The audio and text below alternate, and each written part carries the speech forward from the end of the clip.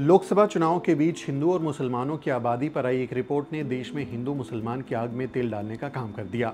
हिंदुओं के देश में हिंदू ही सुरक्षित नहीं, हिंदू अपने ही देश में शरणार्थी बनता जा रहा है। इस रिपोर्ट के आने के बाद कहा जा रहा है कि देखो, हिंदुओं की आबादी लगातार घट रही है और मुसलमान इतनी तेज़ी से बढ़ते जा रहे हैं कि वो जल्द ही हिंदुओं से भी ज़्यादा हो जाएँगे। इस वीडियो में आज हम इस दावे की पड़ताल करेंगे। आज तथ्य और आंकड़ों के साथ इस सबसे बड़े झूठ की पोल खोली जाएगी। लेकिन आगे बढ़ने से पहले आप खबर जान लीजिए कि आखिर खबर क्या है। लोकसभा चुनाव के बीचों बीच प्रधानमंत्री को सलाह देने वाली इकोनॉमिक एडवाइजरी काउंसिल ने हिंदू और मुसलमानों की जनसंख्या पर रिपोर्ट जारी की है। रिपोर्ट के मुताबिक भारत में साल 1950 से 2015 के बीच हिंदुओं की आबादी सात दशमलव आठ दो फ़ीसदी कम हो गई। वहीं इसी दौरान मुस्लिमों की आबादी में तिरालीस दशमलव एक पाँच फ़ीसदी की बढ़ोतरी दर्ज की गई।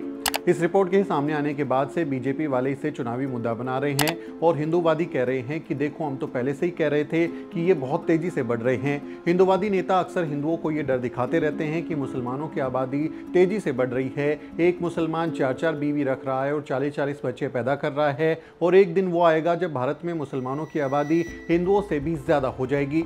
और देश पर मुसलमानों का कब्जा हो जाएगा। ये डर अक्सर दिखाया जाता है, लेकिन हकीकत में ये दावा भ्रामक और झूठ है, क्योंकि हर 10 साल में देश में इतने हिंदू बढ़ जाते हैं जितनी मुसलमानों की कुल आबादी है। तो चलिए आज हिसाब लगा लेते हैं कि क्या वो दिन आ सकता है जब मुसलमान हिंदुओं के बराबर हो जाएँगे या हिंदुओं से ज़्यादा हो जाएँगे। ये बात तो सच है कि मुसलमानों की जनसंख्या बढ़ने की दर हिंदुओं की जनसंख्या बढ़ने की दर से ज़्यादा है। 2001 से 2011 के बीच हिंदुओं की जनसंख्या 16.8 फ़ीसदी की दर से बढ़ी तो मुसलमानों की जनसंख्या 24.6 फ़ीसदी की दर से बढ़ी थी।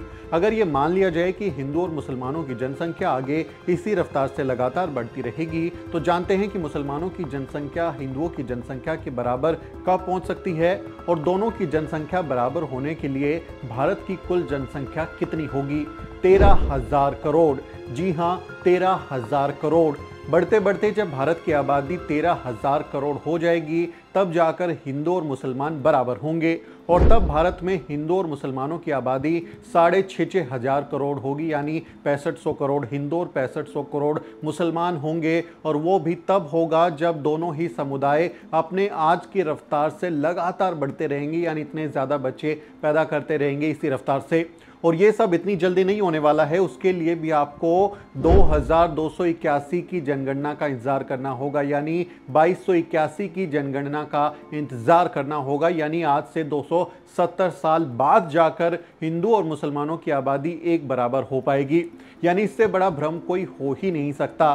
ये झूठ के सिवा कुछ नहीं है। जब भारत का बंटवारा हुआ था, तब भी हिंदूवादी नेताओं ने ये अफवाह फैलाई थी कि जो मुसलमान भारत में रह गए हैं, वो इतनी तेज़ी से आबादी बढ़ाएँगे कि देखते ही देखते वो हिंदुओं से भी ज़्यादा हो जाएँगे। लेकिन अभी तक ऐसा नहीं हुआ। आपके सामने प्रमाण है।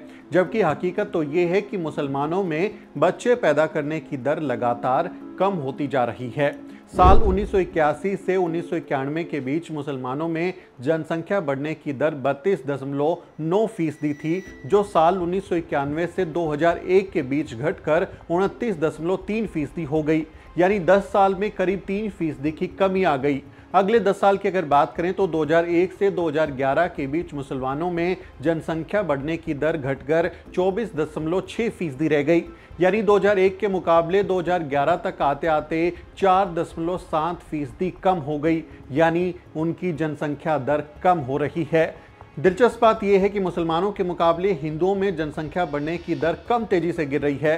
साल उन्नीस सौ इक्यासी से उन्नीस सौ इक्यानवे के बीच हिंदुओं में जनसंख्या बढ़ने की दर बाईस दशमलव आठ फ़ीसदी थी, जो साल उन्नीस सौ इक्यानवे से 2001 के बीच घटकर 20 फ़ीसदी हो गई थी। यानी 10 साल में सिर्फ़ दो फ़ीसदी की कमी आई। अगले 10 साल की बात करें तो 2001 से 2011 के बीच हिंदुओं में जनसंख्या बढ़ने की दर घटकर सोलह दशमलव आठ फ़ीसदी रह गई। यानी उन्नीस से 2011 के बीच मुसलमानों की जनसंख्या दर बत्तीस दशमलव नौ फ़ीसदी से घटकर चौबीस दशमलव छः फ़ीसदी पर आ गई और हिंदुओं की जनसंख्या दर बाईस दशमलव पाँच फ़ीसदी से घटकर सोलह दशमलव आठ फ़ीसदी पर आ गई। लेकिन बात सिर्फ़ प्रतिशत की नहीं है, आपको नंबर्स पर जाना होगा, क्योंकि मुसलमानों और हिंदुओं की आबादी में इतना अंतर है कि इस दर पर मुसलमान चार करोड़ बढ़ेंगे तो हिंदू इसी दर पर मुसलमानों से चार गुना यानी 16 करोड़ बढ़ जाएँगे।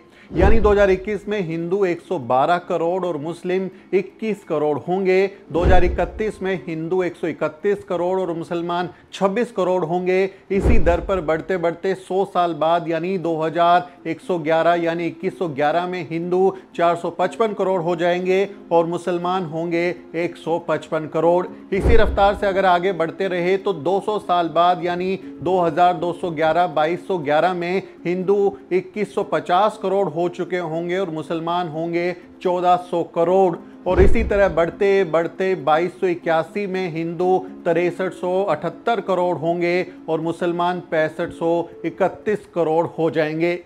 यानी 270 साल बाद जाकर साल बाईस में मुसलमानों की आबादी हिंदुओं की आबादी को पार कर पाएगी। वो भी तब जब दोनों इसी रफ्तार से बढ़ते रहे तो। असल में ऐसा होना असंभव है। जैसे जैसे देश में खुशहाली बढ़ेगी, लोगों में शिक्षा का स्तर बढ़ेगा, लोग गरीबी से निकलकर संपन्न होंगे तो ज़्यादा बच्चे पैदा नहीं करेंगे और सभी समुदायों में बच्चे पैदा करने की रफ्तार लगभग बराबर हो जाएगी। दुनिया के विकसित देशों में भी ऐसा ही हुआ।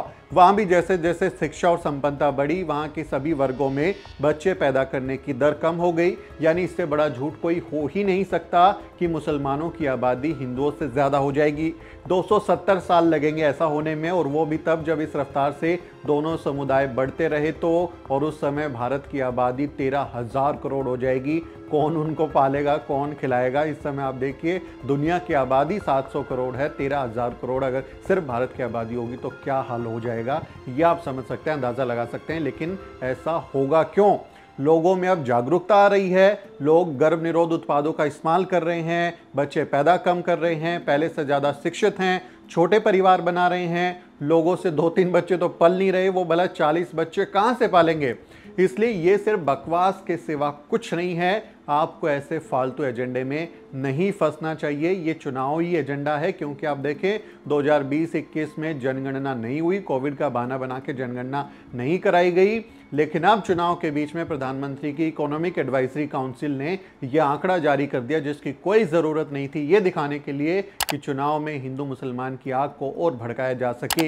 इसलिए इस वीडियो को ज़्यादा से ज़्यादा शेयर करें और इस झूठ से पर्दा उठाने में हमारी मदद करें। चुनाव के बीच इस झूठ को बेनकाब करना बहुत ज़रूरी है ताकि इस देश में खुशहाली रहे, अमन चैन बना रहे। इसलिए इस वीडियो को शेयर करना ना भूलें और द न्यूज़ बी को सब्सक्राइब भी ज़रूर करें। वीडियो के अंत में आपसे एक छोटी सी अपील। साथियों, अगर आपको द न्यूज़ बीक का काम पसंद है और आप चाहते हैं कि हम यूँ ही अम्बेडकरवादी पत्रकारिता करते रहें तो हमारी आर्थिक मदद ज़रूर करें। आप अपनी स्क्रीन पर दिखाई दे रहे इस क्यूआर कोड को स्कैन करें और न्यूज़ बीक फाउंडेशन के खाते में अपनी दान की राशि भेजें। क्यूआर कोड के अलावा आप यूपीआई के ज़रिए भी मदद कर सकते हैं। आप हमारी UPI ID news beak at the rate Yes Bank पर भी मदद भेज सकते हैं। इसके अलावा आप हमारे अकाउंट में भी मदद भेज सकते हैं। खाते का नाम है news beak foundation account number है zero two three five double eight seven double zero double zero zero six four zero I F S code है Yes B double zero double zero two three five bank का नाम yes bank है और branch है Nehru palace Delhi आप donation के एवज में इनकम टैक्स में भी छूट पा सकते हैं। डोनेशन की रसीद पाने के लिए ट्रांजैक्शन का स्क्रीनशॉट हमें भेजें। टाइप करें डोनेशन स्पेस आपका नाम और हमें eight five nine five seven nine four two two four पर व्हाट्सएप करें।